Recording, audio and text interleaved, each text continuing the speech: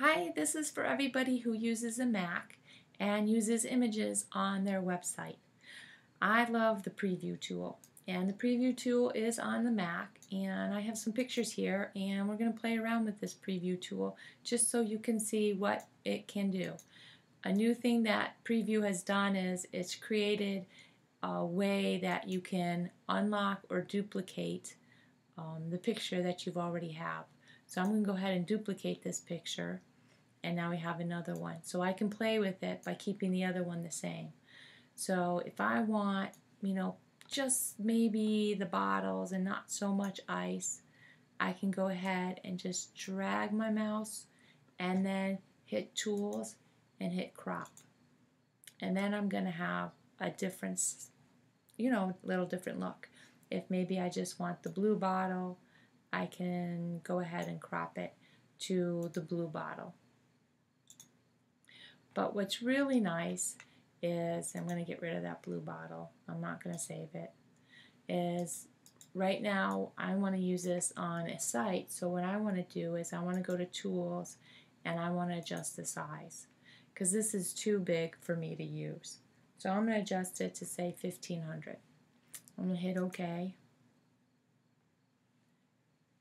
And I'm going to hit duplicate. um, tools, adjust size, and I've got 1500. Now if I want to go smaller, you know, I'll just go smaller, 700. Okay. And then file save.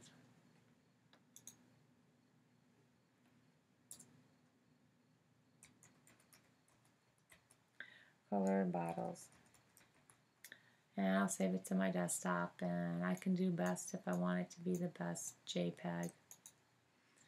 And there we go. Another nice thing you can do with this is you can an annotate it. So right here. There we go. Okay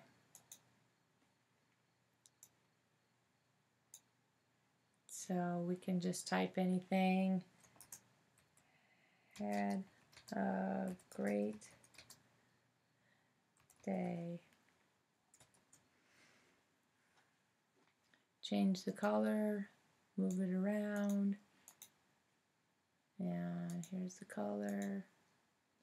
Make it larger. There's your fonts.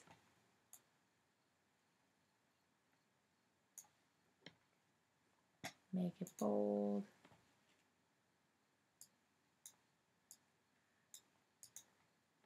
And then you can just go ahead and save as is, and then you'll have another picture.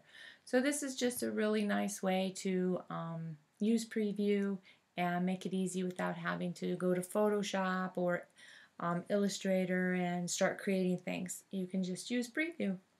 Again, File, and Save. So now I've got another version. Okay, that's all there is to it, and it's fun and it's easy. So thank you.